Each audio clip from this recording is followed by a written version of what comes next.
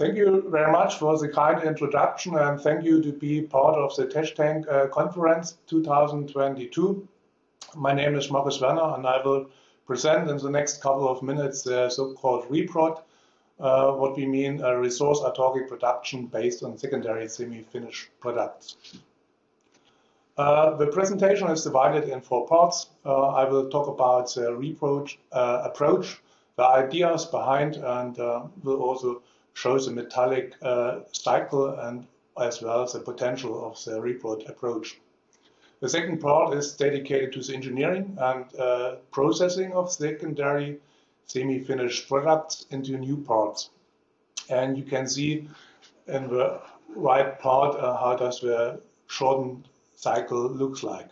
The third part of the presentation will be on the die-less sheet metal forming. It's another way to reduce the resources which are necessary to produce sheet metal parts and we call it Stabify approach.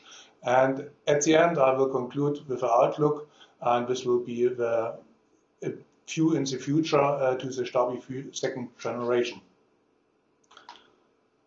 If you look around, uh, you may realize that we are still in a linear economy, even if everyone talks about uh, circular economy. And uh, the way is that we start normally with raw material, add some value to get material, then semi-finished products. And then normally it starts as a business of sheet metal forming. We shape components out of it, then there will be produced products out of it. And uh, unfortunately today, most of our products uh, end up uh, on disposal if you have a look on the whole economy. And what is known is product recycling if we make refurbish or retrofit of parts and uh, when today it's talked about uh, someone uh, about material or recycling then we mostly speak about raw material recycling.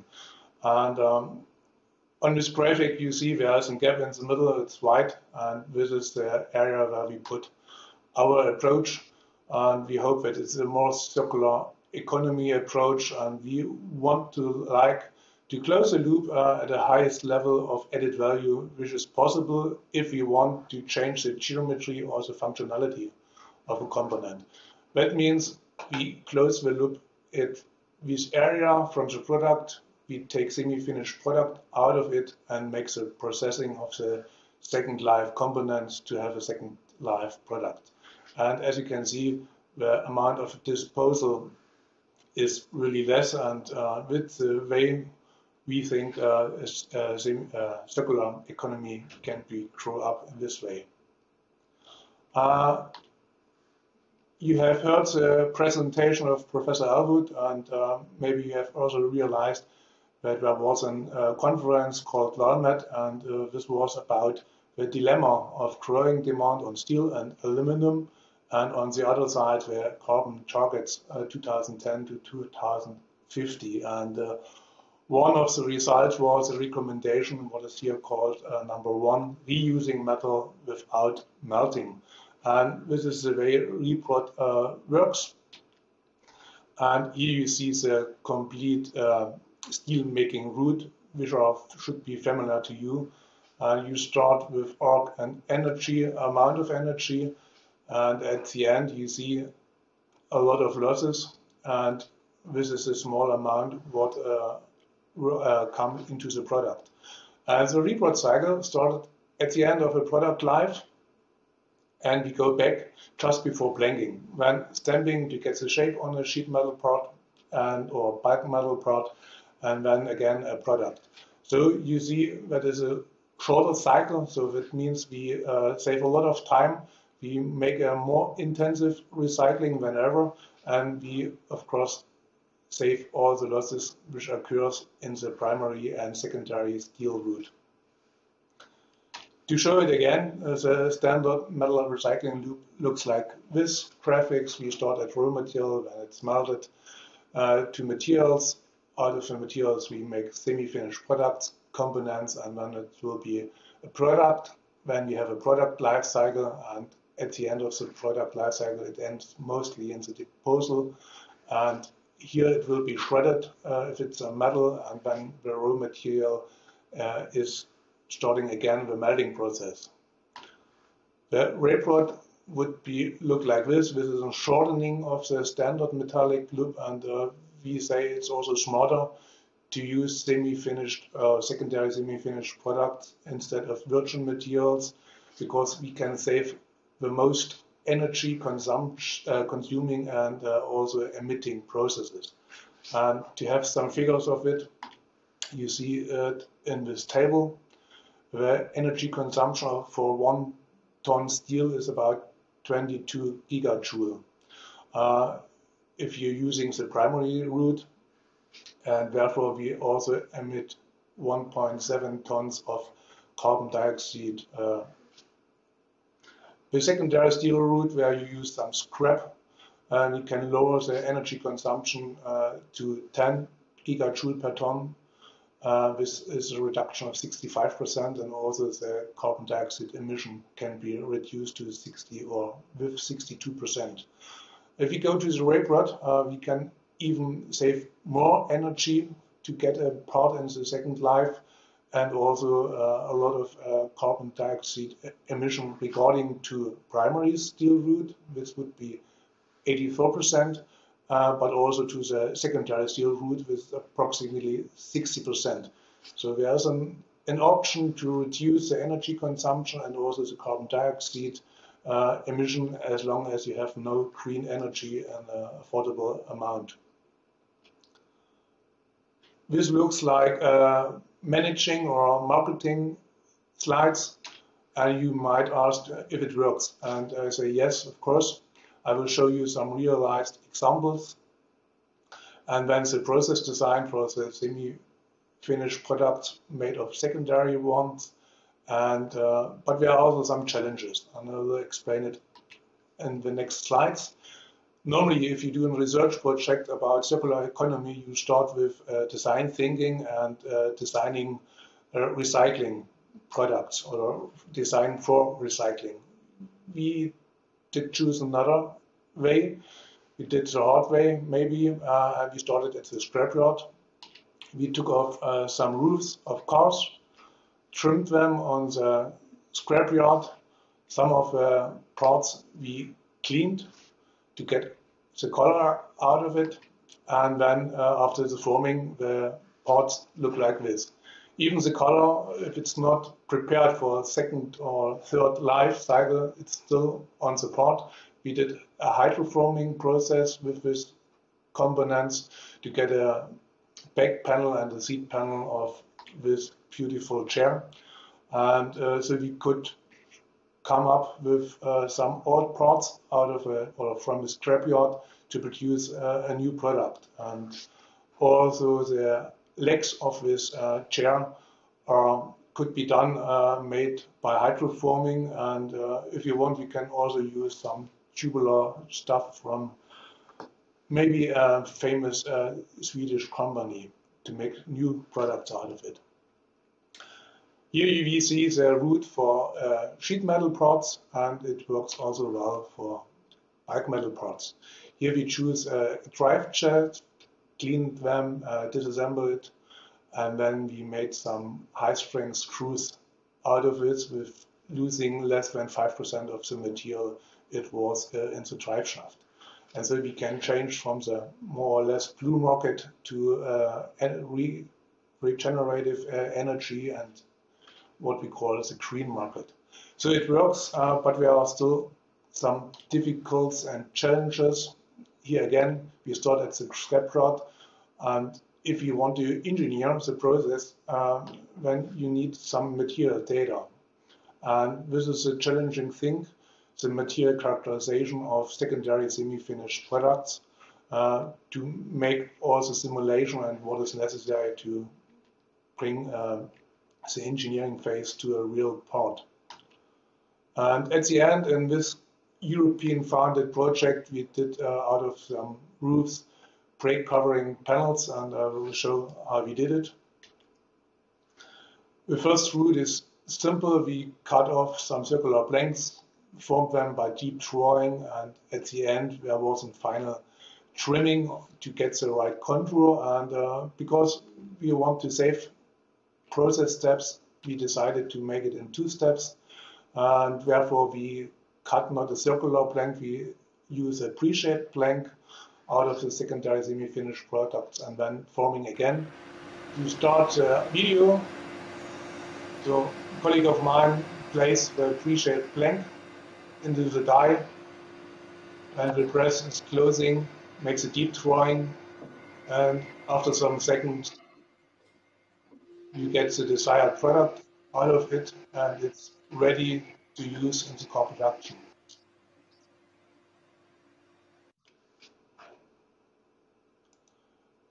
I have mentioned uh, that is uh, some challenges uh, within this process route and this is regarding the mechanical properties of the secondary semi-finished products are something like unknown. The initial strength of the material yield and hardening curves as well as the forming limit curves are not available or not known.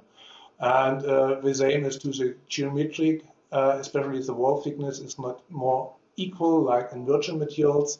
And we divided the parts in for the sheet metal fraction uh, nearly in flat, single or double curved shapes. And what can we do to get the material data we need for simulation?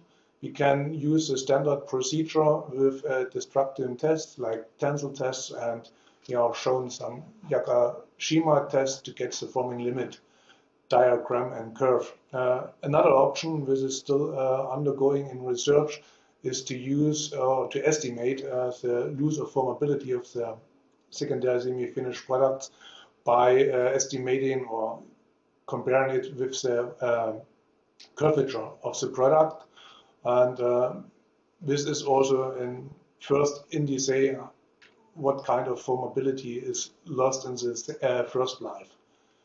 Another option, and we choose it too, is to make a re-engineering to imitate what happens uh, to the sheet metal in the first life, all the forming processes which uh, are used some formability or uh, reduce the formability. And uh, if you do so, you are come up with the idea to use digital twins and virtual shadows of the first life of the product. And uh, this would be also non-destructive. Uh, and what we think it's a really uh, second use and uh, additional use of all the data of the real process. And uh, at the moment, we say that's not available, with data, even if we have terabytes of single uh, digital twins and virtual shadows around. But for further processing of semi-finished products, it's still not available. But uh, this might be a good idea to have an exchange to discuss this, and maybe there's a good point for further cooperation. Uh, we have shown that uh, semi-finished products or secondary semi-finished products can be uh, changed into new products. And another way to uh, reduce uh, the resource this we need for production is the third part of the presentation and um, there are a three-level strategy for more sustainable sheet metal parts. The first is uh, known as light-weight design, is realizing topological optimized part geometries. That means there are not uh, additional reinforcement or something like this, just material where it's needed for functionality. The second level would be reduction of direct material usage uh, for the final product, and this means more or less the increase in the material usage. Uh, in the aerospace industry, it's called uh, fly uh, buy to fly ratio. And the, the more uh, interesting level is the third level, reduction of indirect material resources for production equipment. And this means will reduce the amount of energy and material is necessary to form uh, out of a sheet metal a component. And especially for forming dies, we have de developed this uh, STABIFI approach and where we can save up to 90% of the material and also the cost for the forming dies. And how do we do this? Uh, there are three uh, options. And uh, the first is that we reduce the forming stages which are necessary to get especially such parts like a seat cross member to just a single drawing or crash forming stage.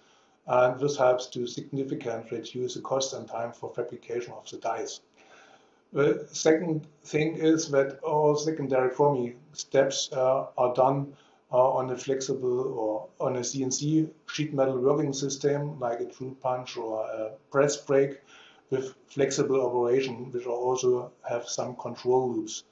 And the third part is to optimize, say, uh, the resource efficiency by reducing the material and uh, energy which is necessary to produce such parts. And uh, maybe you are familiar with such products and parts and you would normally it, do it in six to eight stages in a progressive die. And this is a new process sequence we call Stabifu sequence.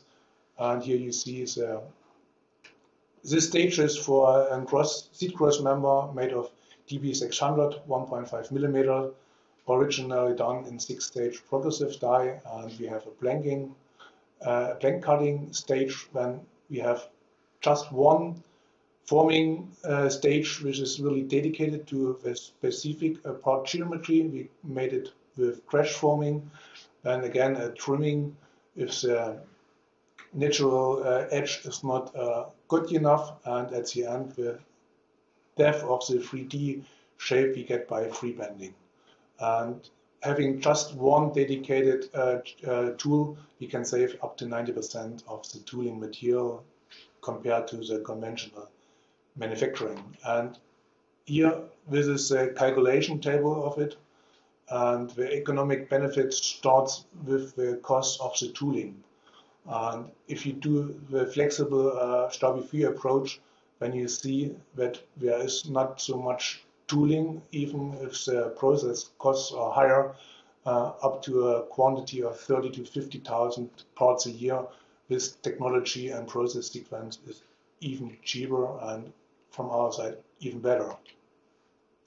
And here there are some other advantages, more technology, uh, technological advantages. As uh, announced, 90% less uh, cost for the die, when we could also increase the material usage uh, uh, and save 22% of the material. Uh, all the operation are done on controlled forming operation on CNC machineries. And uh, another advantage is that uh, the lead time from the idea to the final part uh, uh shrinks from weeks to days because you, if you want to change something, you just change as a CNC uh, program, and therefore it's really easy to change the part geometry. And at the end, we can summarize that it's really cost-effective process for smaller production volumes, not for the high quantities, but for the smaller ones. And uh, I will give a short outlook because maybe you have realized that uh, the first generation of Stabi parts have straight lines like this bending line. Uh, but if you want to have such flanges or curved parts, which are uh, more in a car, then uh, we have to use a second generation of the Stabi approach. And uh, if you ask how many uh, tools or forming dies we use for this parts, then that's the results. If you ask if it's everything what you need, yes, it is. It's a die which is um, amount on the robot as an end effector. Then we have here the rollers to make these beads into the uh, part, then uh, some dies to make the flange forming, and um, here are similar uh, represents the bending, and how did we did this flange is shown in this short video. normally if you to, uh, think about roll forming, you have in mind 20 to 30 stands of rollers which are online and produces kilometers of uh, profiles.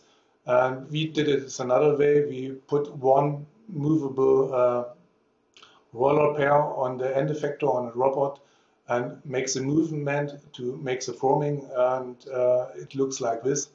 And uh, after a couple of minutes, uh, it's ready. And if you want to have another geometry, you just have to change the robot program as well as the the cut uh, before.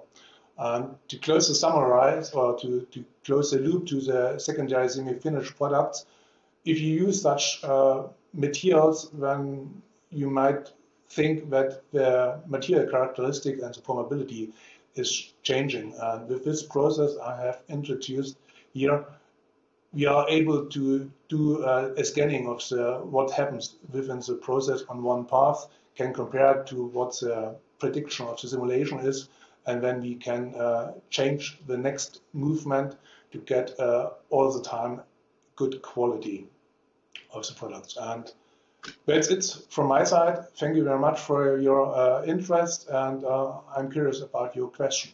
Thank you.